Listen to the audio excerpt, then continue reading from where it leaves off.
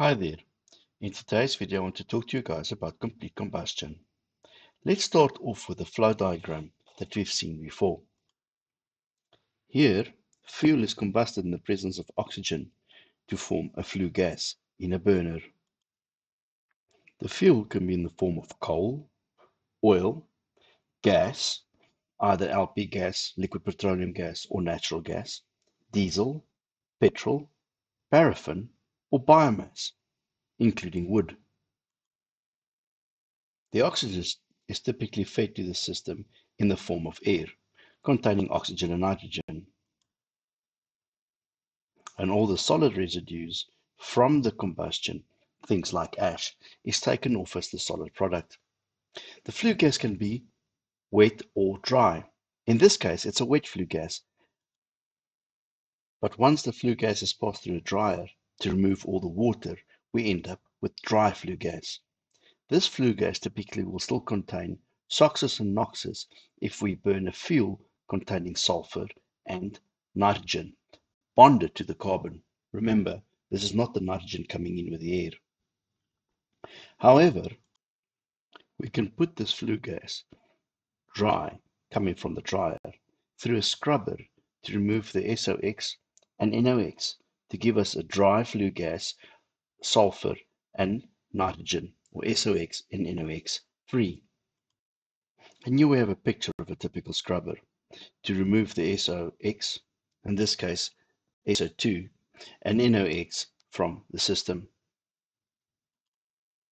Now let's do an example of such a combustion problem.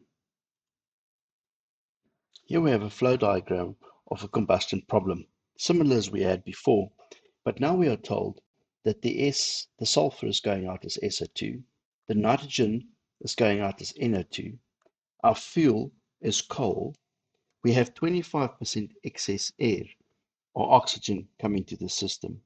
All the streams are numbered from A to H. We also need a coal analysis. And in this example, I use the same coal analysis as I did before. Remember the one where we did the proximate analysis and ultimate analysis, ending up with the coal analysis.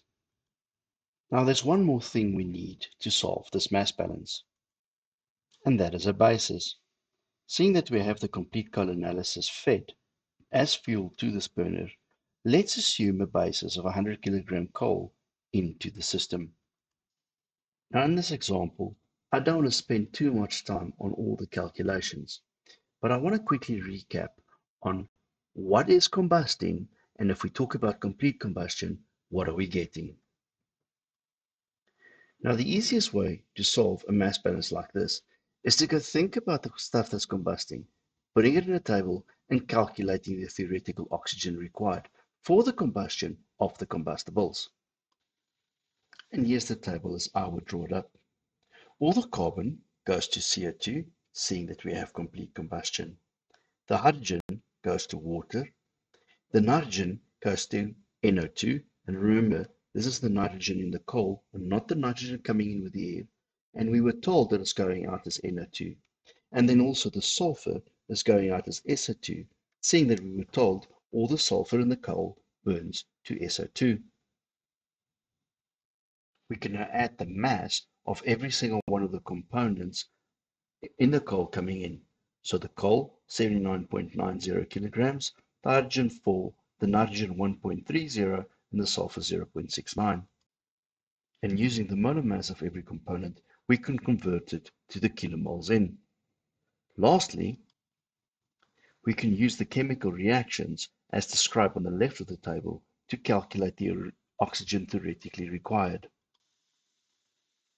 giving us 6.65 kilomoles of oxygen required to convert the carbon to CO2, 1 kilomole to convert the hydrogen to water, 0.09 kilomole to convert the nitrogen to NO2, and 0.02 kilomole of oxygen to convert the sulfur to SO2. We now tally this up to calculate the total oxygen theoretically needed for complete combustion. Now, I can stop this problem here, but I'm just quickly going to run through the calculation of every single one of the streams, A to H. We know the O2 in for theoretical combustion is 7.77 kilomoles, but we have 25% excess, which means that we have 9.7125 kilomoles of oxygen coming into the system. We can now calculate the kilomoles of air in and the kilomoles of nitrogen in with air, giving a, us a complete analysis of stream A. Stream B we already have, as it is the coal analysis. It's the fuel stream coming in. Next, we can calculate stream C, and that's all the ash coming in, leaving as solids going out.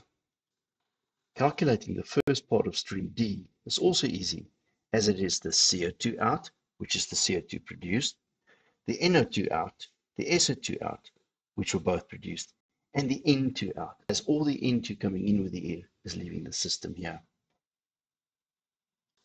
To calculate the oxygen and the water leaving the stream D is a little bit more work, but still not difficult. The oxygen out is all the oxygen coming in, which was the 7.77 kilomoles in, or theoretically needed multiplied by 1.25, which gave us 9.7125, minus the 7.7, which was the amount of oxygen that reacted, the theoretical oxygen needed to convert all the combustibles into its oxides. And that leaves us with 1.9425 kilomoles of oxygen leaving the system, which was unreacted. The kilomole of water leaving the system is all the water coming in plus the water formed during the reaction, where this is the bound and the free water coming in, and this is the water formed during the chemical reaction. Dividing all of those, the free water and the bound water in by its molecular mass, and the oxygen by the ratio of um, water formed per mole of uh, oxygen coming in, we end up getting 2.423 kilomoles of water leaving the system. And seeing that stream E is the water leaving the dryer, it must be exactly the same as the water in D, the value we just calculated. Stream F is exactly the same as stream D, it just excludes the water that was removed in E. G is all the SO2 and NO2 that came in with F now leaving the scrubber and H is the remainder, which is CO2, N2, and O2 leaving the system after we scrub the NO2 and SO2 from the flue gas. I hope this example helps you. In the next lecture, we will talk about incomplete combustion. Hope to see you then.